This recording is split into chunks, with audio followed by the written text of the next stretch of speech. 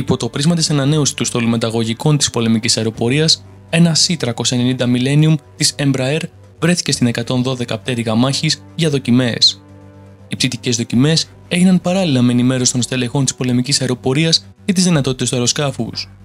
Αξίζει να σημειωθεί ότι δεν είναι η πρώτη φορά που το αεροσκάφος αυτό μπαίνει στο ραντάρ της πολεμικής αεροπορίας, αφού όπως σας ενημερώσαμε ξανά στον MSHD, στις αρχές του έτους πραγματοποιήθηκε συνάντηση μεταξύ των εκπροσώπων της Embraer και επιτελών του Γενικού Επιτελείου Αεροπορίας. Σχετικά με την παρουσίαση και την πτήση επίδειξη με ανακοίνωσή του το είπε θα αναφέρει. Τη Δευτέρα 26 Ιουνίου πραγματοποιήθηκε στην 112 πτέρυγα μάχης συνάντηση των εκπροσώπων της εταιρείας Embraer, κύριο Σιμών Jones, Vice President Europe, κυρία Κάρλας Σάλερον, Sales Director και κύριο Γκάμπρελ Ραμάλχο, Sales Engineer με στελέχη της πολεμικής αεροπορίας. Σκοπός της συνάντησης ήταν η ενημέρωση για τις δυνατότητες και τα απτυτικά χαρακτηριστικά του αεροσκάφους C390 Millennium που κατασκευάζει με την επίδειξη φόρτωσης και τη διεξαγωγή πτήσεων, καταλήγει ανακοίνωση. Σχετικά με το C390 Millennium.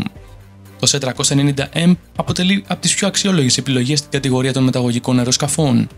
Μπορεί να μεταφέρει έως 26 τόνους φορτίου με τη μορφή παλετών, ενώ μπορεί να μεταφέρει έως 80 στρατιώτες ή 66 αλεξιπτιστέ. Τους χρήστες του C390M θα συγκαταλέγονται η Βραζιλία, η Ουγγαρία, η Πορτογαλία και η Ολλανδία, οι οποίες διάλεξαν το αεροσκάφος αυτό για αντικατάσταση των παλαιών μεταγωγικών όπως τα C130B και H.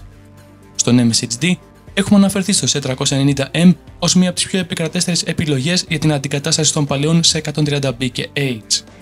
Πείτε μας και τη δική σας γνώμη στα σχόλια κατά από το βίντεο.